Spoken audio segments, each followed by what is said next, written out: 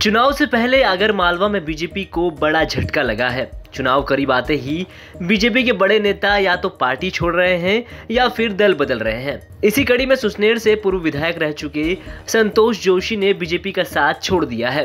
जोशी ने इस्तीफा देने के बाद जो कहा, वो आगर में बीजेपी की मुश्किलें बढ़ा सकता है। जोशी ने सुसनेर विधानसभा से निर्दलीय चुनाव लड़ने का ऐलान कर दिया है। उन्होंने कहा कि सुसनेर में पिछले 10 सालों से विधायकों के कार्यकाल से नाराज़ होकर उन्होंने पार्टी से इस्तीफा दे दिया है।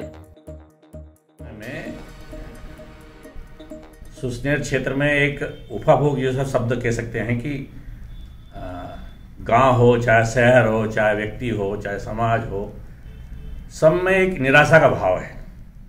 और अभी मैं श्री रामचरण पादुका पूजन के माध्यम से गाँव गाँव गया तो चरण पादुका पूजन में जितनी श्रद्धा से गाँव के लोगों ने भाग लिया, लेकिन उस गाँव में, प्रत्येक गाँव में कह सकता हूँ कि दस बीस लोग ऐसे थे जो धीरे से मुझे कान में कहे जाते थे कि भाई साहब, इस बार मत चुकना।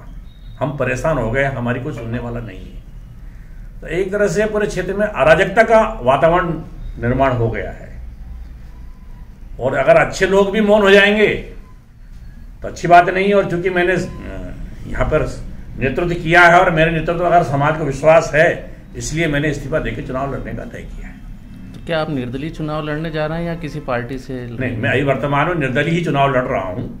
या तो चुनाव के बाद विजय होने के बाद नई पार्टी बनाएँगे या कुछ संघ के प्रचारक पूर्व प्रचारक जो पार्टी बनाने की बात कर रहे हैं उनसे बातचीत करेंगे। लेकिन वो बात का विषय है।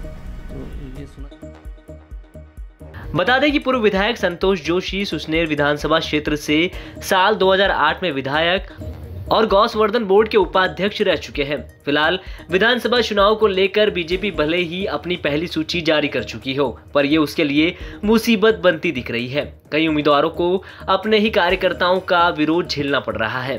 फ़िलहाल बीजेपी पुराने नेताओं को मनाने में कामयाब होती नहीं दिख रही है। यही वजह है कि पूर्व विधायक संतोष जोशी ने भी पार्टी से किनारा कर लिया है। आगर मालवा से प्रमोद कारपेंटर की रिपोर्ट है एमपी तक।